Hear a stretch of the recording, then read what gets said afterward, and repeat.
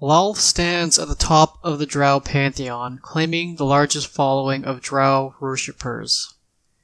Bending arachnids and drows to her whims, she plots away in the demon web pits. Both a cunning and scheming deity, Lolth continues to influence many of the most important events throughout the Forgotten Realms. I am Ben Dignan, aka DM Diggy, and welcome once again to Religion in the Realms.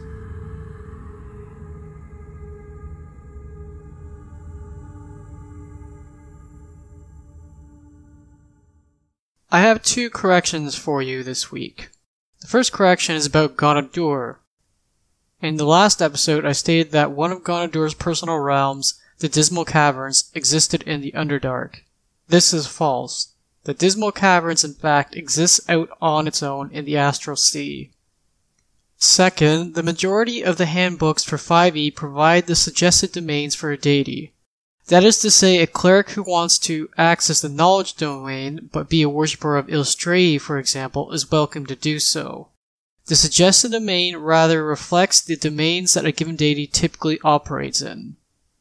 Titles Some of the titles given to Lolth are the Spider Queen, the Queen of Spiders, Demon Queen of the Abyss, Queen of the Demon Web Pits, Weaver of Chaos, the Mother of Lusts, Dark Mother of all Drow, and Lady of Spiders. In the past of the Forgotten Realms, and as a result, in er, older editions, Loth went by different regional names. In Menzoberranzan, for example, she was known as Loth. For a long time, she had absorbed the aspect of the drow deity Zinzerena, though we see now that Zinzerena has emerged once more as her own separate deity. Portfolio and domains. Lolth's portfolio includes spiders, evil, darkness, assassin, and drow. Lolth's suggested domains in 5th edition, as of Mordenkainen's Tome of Foes, are trickery and war. Appearance and manifestations. Lolth is known for being an active deity on the Forgotten Realms. Even after the events of the Second Sundering, she still finds her way down into the Underdark to put down any powerful malcontents. She can take on a couple of different forms.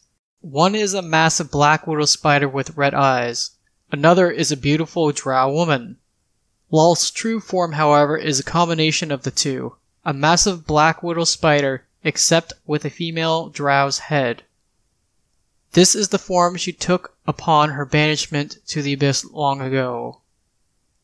In her spider form, Lolth's bite releases a fatal poison that can kill the hardiest of heroes within a couple rounds after they suffer through writhing ag- agony.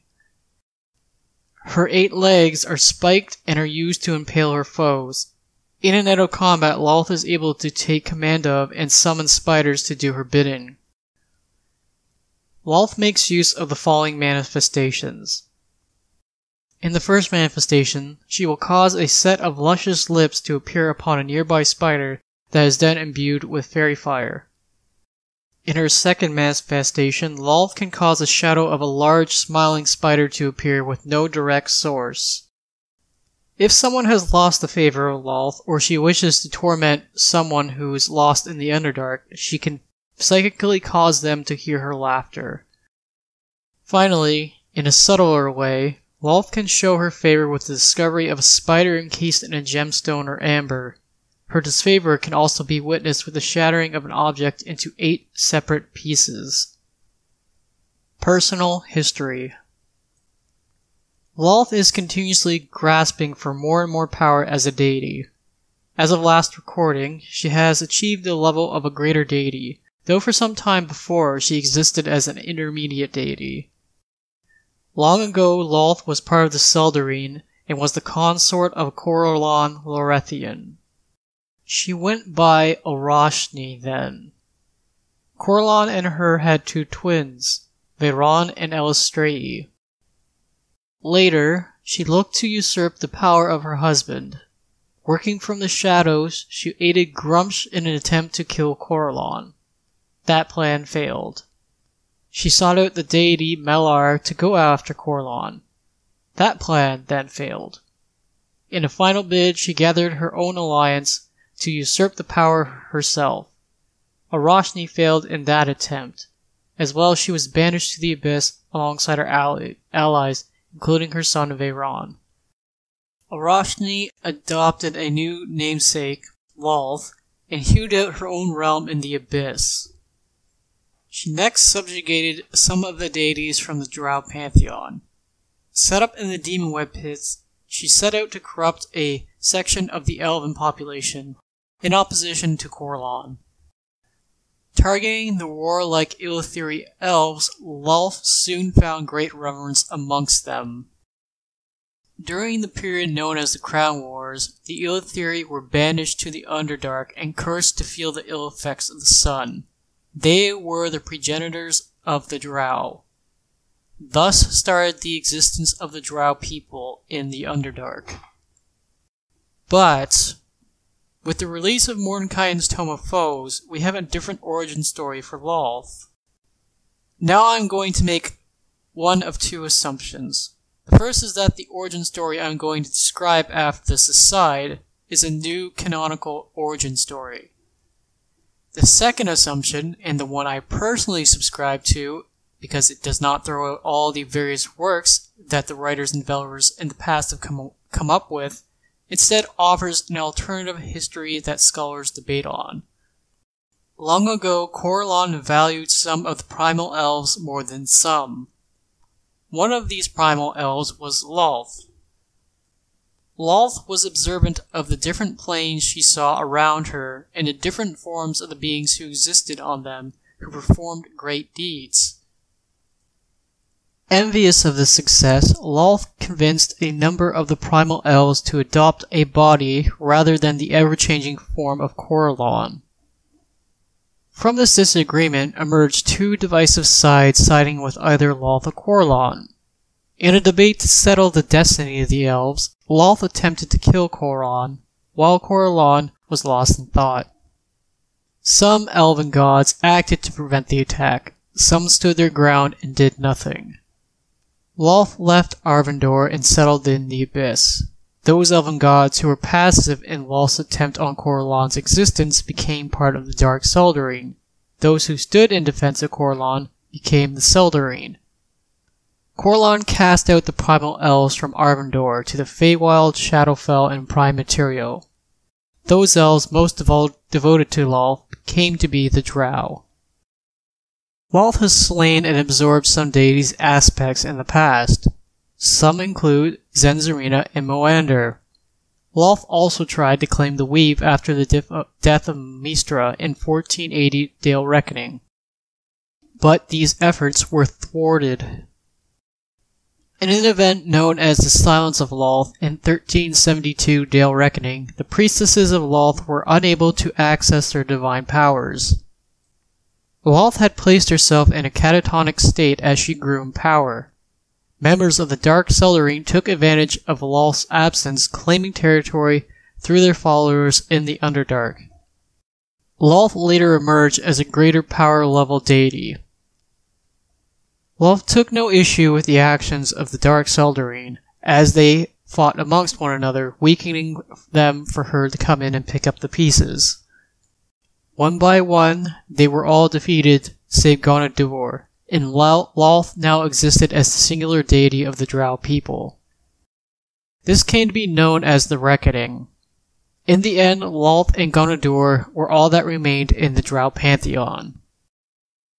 Post Second Sundering, however, the other Drow deities have re-emerged and are no longer dead, filling out the once previous Drow pantheon.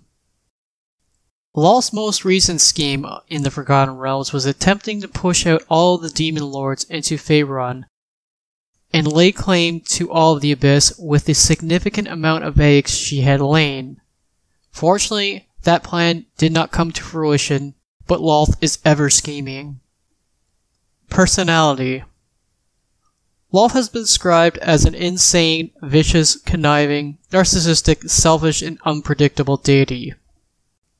She takes great pleasure in setting her followers against one another, locked in constant struggle for her affection and favor. Personal realms. Lolth controls the demon web pits on the 66th layer of the abyss. Interspersed between the different portals is webbing made from planar material forming many different tunnels and catacombs. To get trapped in one of these webs is to invite the attention of one of Lolth's servants. Throughout the demon web, you can find ruined buildings, ships, and other sorts of structures that somehow have managed to become entangled in the webbing. Members of the Dark Seldarine claim their own realm in the demon web pits. Their personal realms dangle from the interplanar network of web. Lolth lives in a black iron fortress, grand in scale, in the shape of a spider that is constantly moving about the webbing. Allies and allegiances.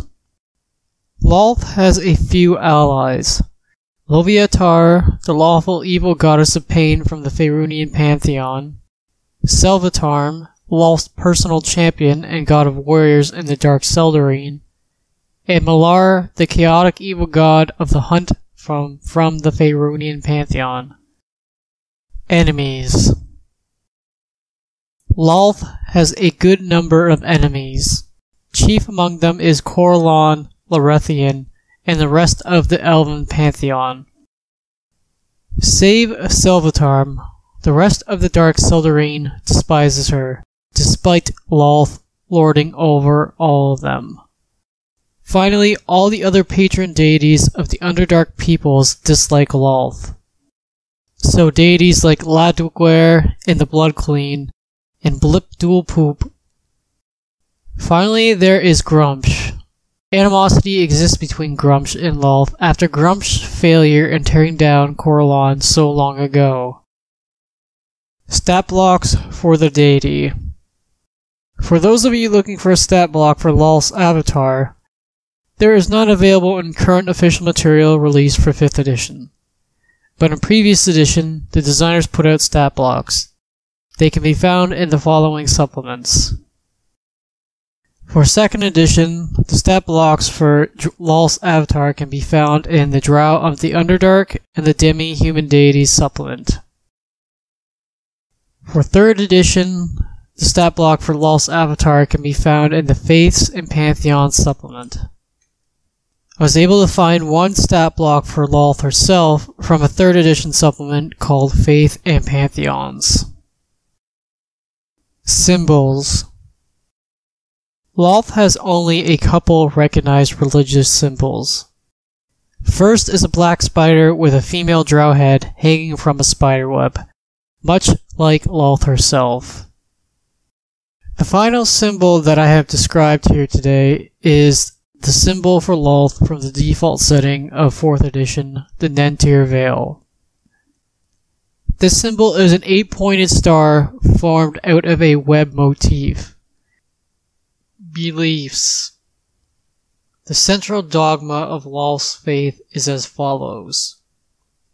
Fear is as strong as steel, while love and respect are soft, useless feelings that none can lean on.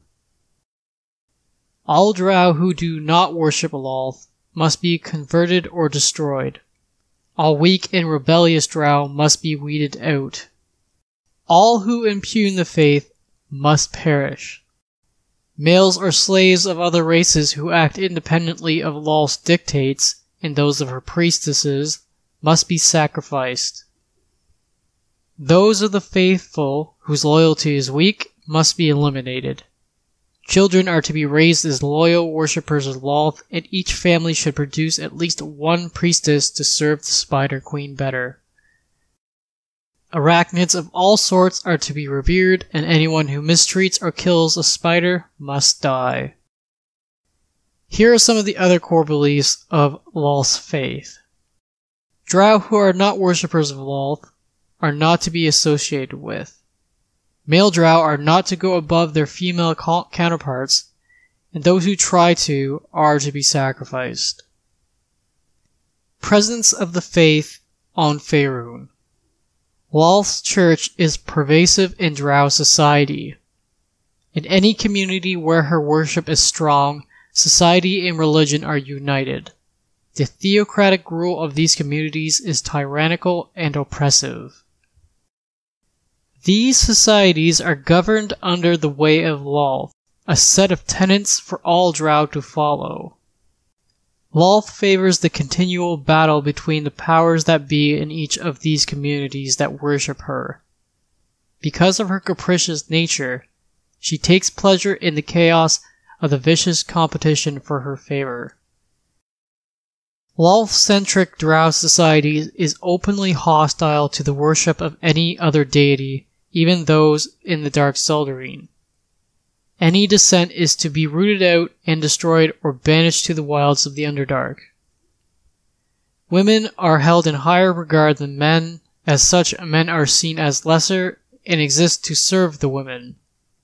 The nobility arrange themselves in familial houses. Each one of these houses is locked in continuous conflict, battling with one another for the favor of Lolth. The elite amongst the houses form a ruling council. Each house is ruled by a singular high priestess of Lolth, known as a matron mother. Lolth does not have a strong presence up on the surface world of the realms, though she desires to slink her way into the various societies on the surface world. What is known of Lolth upon the surface is tied up in legend and myth. Few if any of the surface elves are willing to broach the topic of Lolth, given she is the major source of elven and drow separation. Hierarchy and structure of the clergy. If a dungeon master is going chiefly by alignment, worshippers of Lolth fall under all variants of neutral and all variants of evil alignment. I have to disagree that worshippers of neutral alignment honestly worship Lolth. Paying lip service out of self-preservation is a different story, however.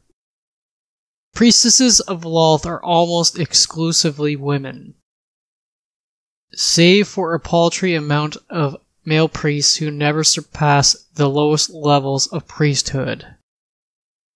Responsibilities and duties of clergy and worshippers. The priestesses of Lolth are the judicial and police heads of their communities. Priestesses look to maintain the totalitarian rule of Lolth by sending out inquisitors. These inquisitors seek any dissent or worship of other deities who would rival Lolth. Lolth's faith operates on pure fear alone. There is no love for Lolth, save the power and blessing she gives out.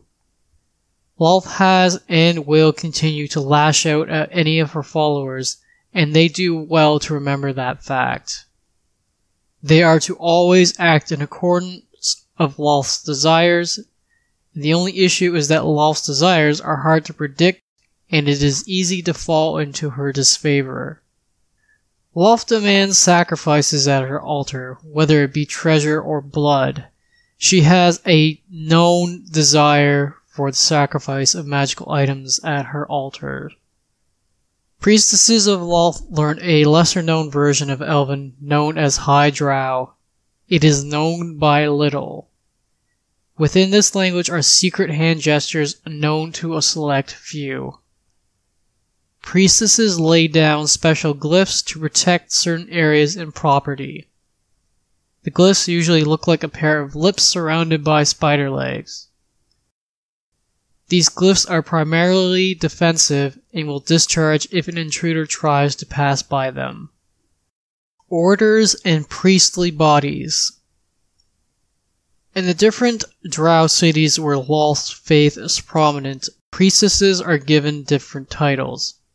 For example, in the drow city of Guallidurth, they are known as Jorngathrins. There are a certain variety of priests known to be called arachnes. They are immune to spider venom and can easily communicate with any spider. There is a group of holy warriors of Lolth who go by two different names. One body is known both as the militant Mylocar or the or- Order of the Soul Spiders. Their ranks are composed entirely of male drows and they only exist in drow societies that allow male priests. Handmaidens of the Spider Queen, or the Daughters of the Yochlol, are an all-female body of holy warriors. They only act when a drow society is judged to be ignoring and growing lax in their devotion to Lolth, and use their might to re-establish order. At other times, they are sent out into the Underdark to assault known locations where the worship of other members of the Dark Seldarine are being carried out. Appearance and dress.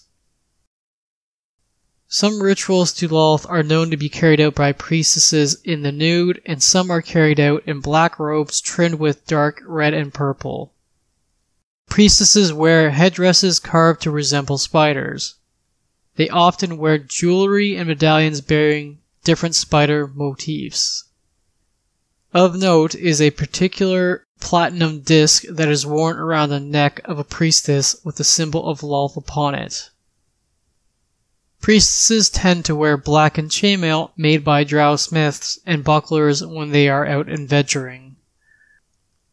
Generalized rituals. Sacrifices are done in Lolth's name with the hope that she will grant the askers success in their own evil adventures. Traditionally, the sacrifice is carried out with a special dagger shaped like a spider with eight descending blades. Some gems or magic items will also be burnt in braziers in offering, utilizing special incense and oils. It is said that if Lolth is displeased with the offering being made to her, or she notices a disloyal servant is nearby during the con- conduct of the ritual, black and red flames leap out of the braziers to attack that individual or disvalued object. Often this is done to merely humiliate the individual, burning away clothing and hair. However, if Lolth sees the need to injure or kill the individual, the flames will be much greater and do that much more damage. Priestesses of Lolth purposefully sacrifice surface elves on nights of the full moon in spite of the elven goddess Sehanine.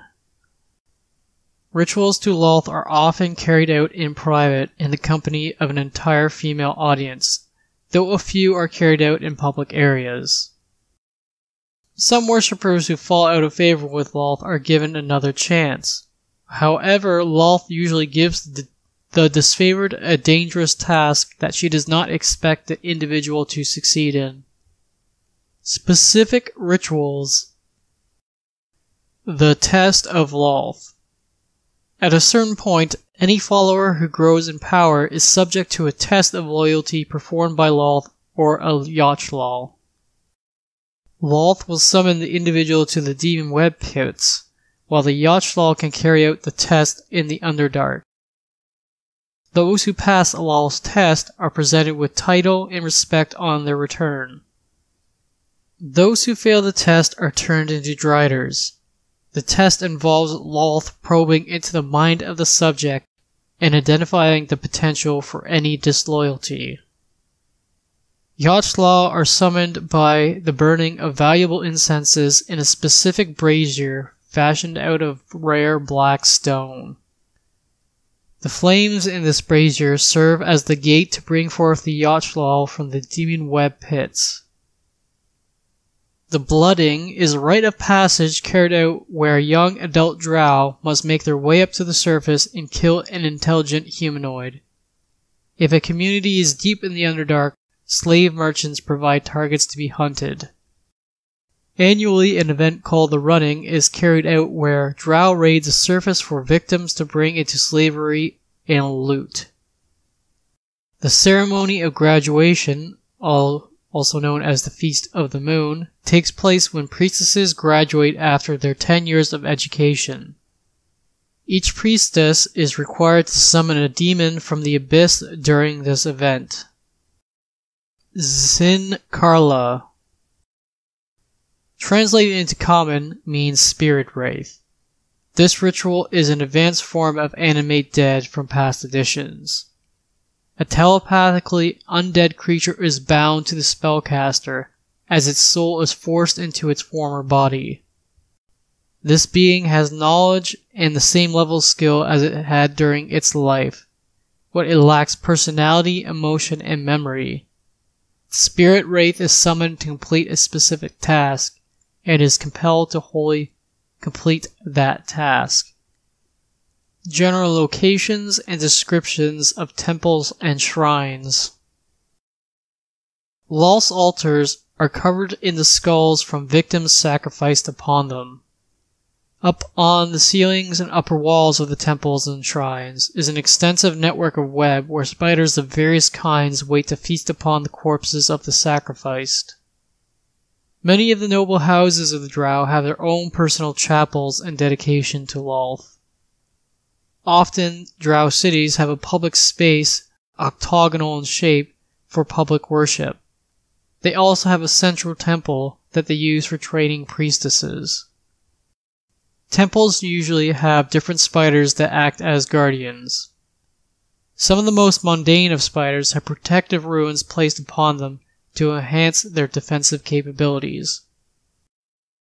Each temple usually bears a statue of Lolth carved out of black stone.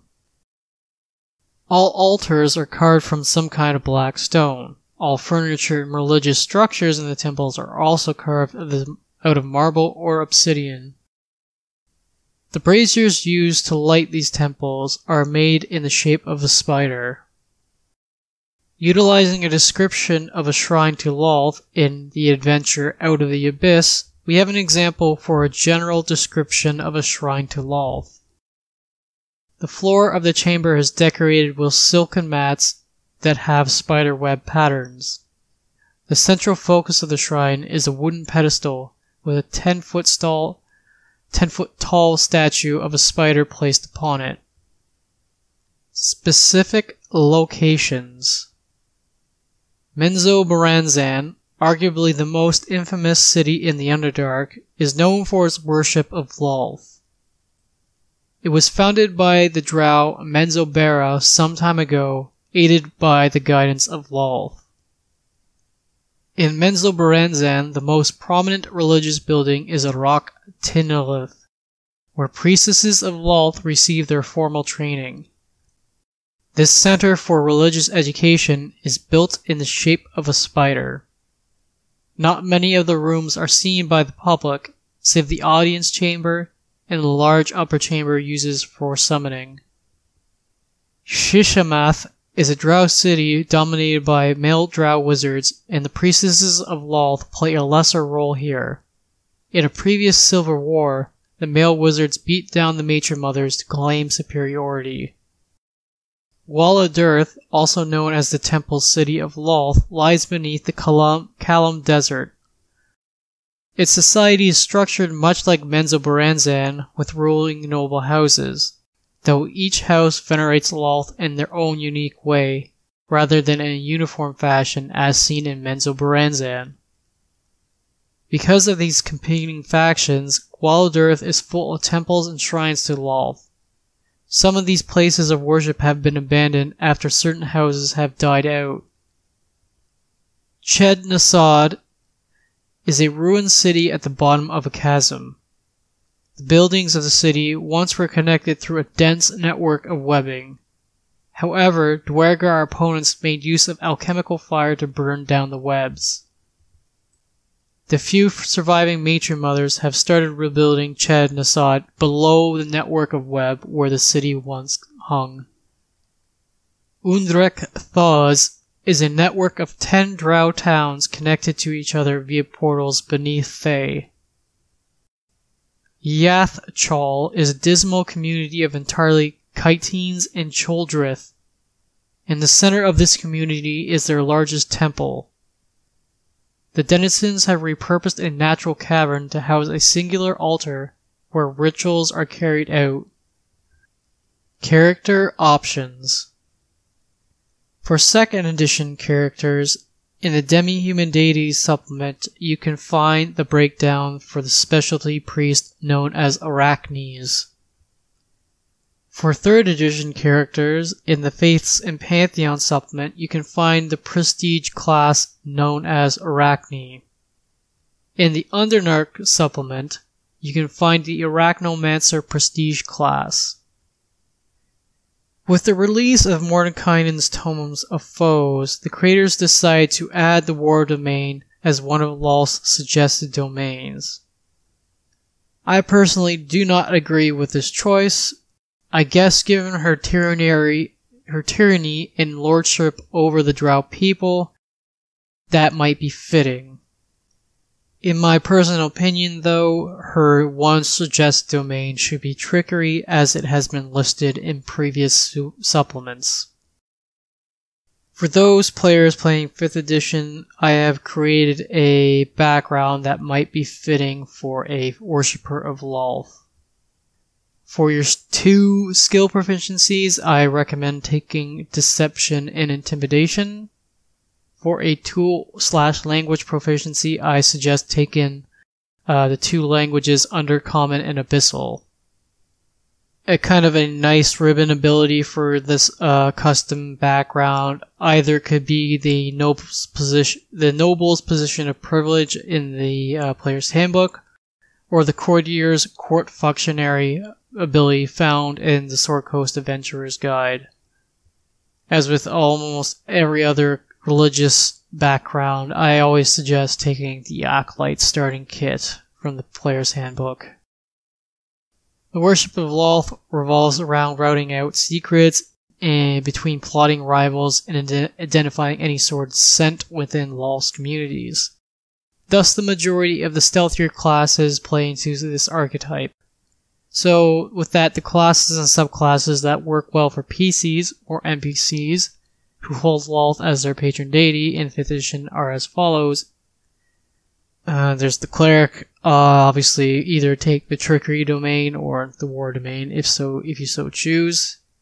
Uh, for monk, there's the way of shadows. Uh, for the paladin, I would look at the oath of conquest for the player looking to play a current or former member of one of the named orders of holy warriors. Uh, with the ranger, you have a lot of options. You can take one of the hunter, the beastmaster. Uh, and for the beastmaster, I would really kind of lean into the whole Lolth worship and take a giant wolf spider companion. And obviously, there's the Gloomstalker who is at home in the Underdark. And when you go to choose one of your favorite enemies, I would choose the elves and one other race of surface humanoid, or even one of the Underdark peoples, like the Duergar, for example. A ranger in dedication to Lolth would be primarily used to go up and capture any potential sacrifices. And to round out the suggested classes is the rogue. Um, the following three subclasses I feel best kind of play into the whole subterfuge and mistrust angle that's really kind of prominent in Lolth societies. Uh, so there's the assassin, mastermind, and the inquisitive. Dungeon Master options. Lolth has a good handful of monsters who are related to her worship. The following monsters can be found in 5th edition material. In the monster manual, you have stat blocks for Driders and Yochlol. As I mentioned before, Driders are formerly drow who have been turned into these monstrous creatures by Lolth after failing her test. They are shunned by drow society to roam the wilds of the Underdark. Yochlol are known as the handmaidens of Lolth. They are commonly summoned by the priestesses of Lolth. Yochlol can exist in a handful of different states.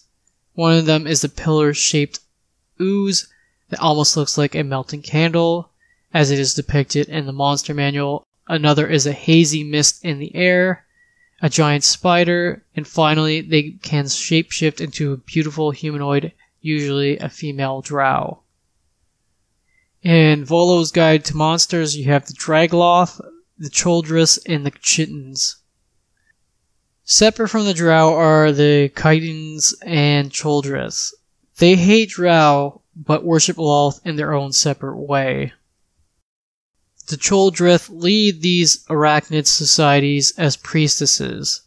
Their towns are made up of hard-formed webbing and in, and their houses are interspersed between web bridges. These two arachnid type people are said to have been created in a dark ritual by drow worshippers of Lolth using, using elven prisoners long ago. Draegloths are created through a mating ritual performed between a Glabrezu demon and a priestess of Lolth. Draegloths are genderless and sterile creatures who serve as personal bodyguards to priestesses. After the priestess who bore it dies, that Draegloth often proceeds to live as a wild creature in the Underdark, and some of these creatures are so strong in their devotion to Lolth that sometimes they even become clerics themselves. In Mordenkainen's Tome of Foes, you can find the stat block for the Retriever. The Retriever is described as a large construct who is spider shaped who, who prowls the abyss hunting down any demonic sacrifices for Lolth. I note here the stat block for the Myrlochar, which has not been released yet in 5th edition, but you can find the stat block for this monster in the Monsters Compendium Monster of Faerûn supplement for 3rd edition. Myrlochar are another personal servant of Lolth who can be summoned. Uh, they are skeletal arachnids with red eyes that give off a dull, sickly green glow. They are summoned to seek out any person who has attempted to escape the influence of Lolth. As a demon lord, Lolth has many of the different types of demons at her beck and call, so of course you have across the different supplements all the different stat blocks for the different types of demons. Last but not least is the various different stat blocks for your different types of spiders that can be found in other supplements as well. There are a lot of stat blocks that can be used for NPCs by a dungeon master. For the monster manual, you have the whole section devoted to drow. So you have the drow, the drow elite warrior, the drow mage, the drow priestess of Lolth, and even in the generic NPC section, you can make use of the assassin and spy stat block. In Volo's guide, you have the Blackguard stat block in case you want to make an NPC who is a holy warrior of Lolth. And Mordenkainen's Tome of Foes has even given us more Drow NPC stat blocks that we can make use of. So you have the Drow Arachnomancer, the Drow Favorite Consort, the Drow House Captain, the Drow Inquisitor, the Drow Matron Mother, and the Drow, Shadowblade.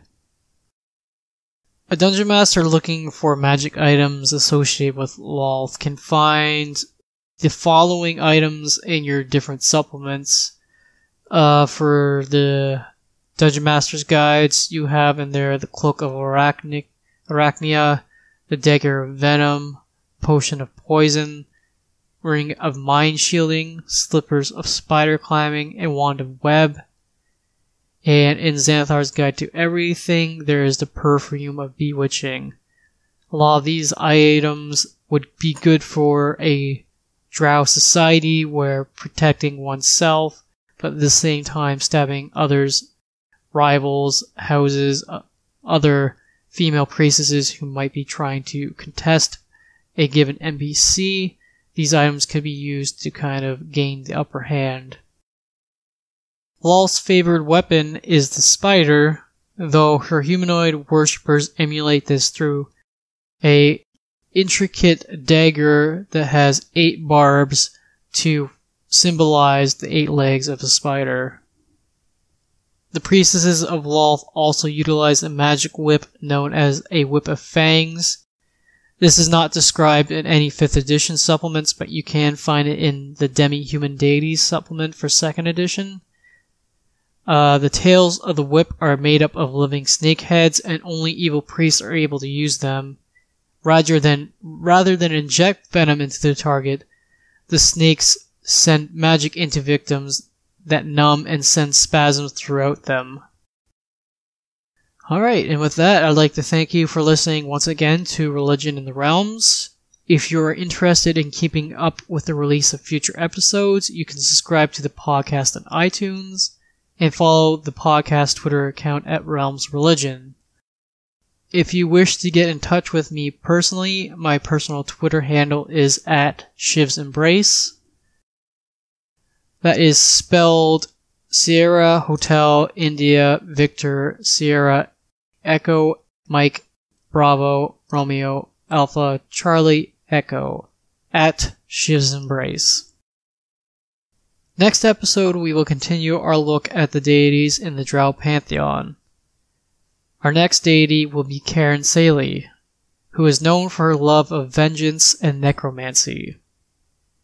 Until next time, may Tymora look kindly upon your dice rolls, Helm protect you, and Lathander light your path.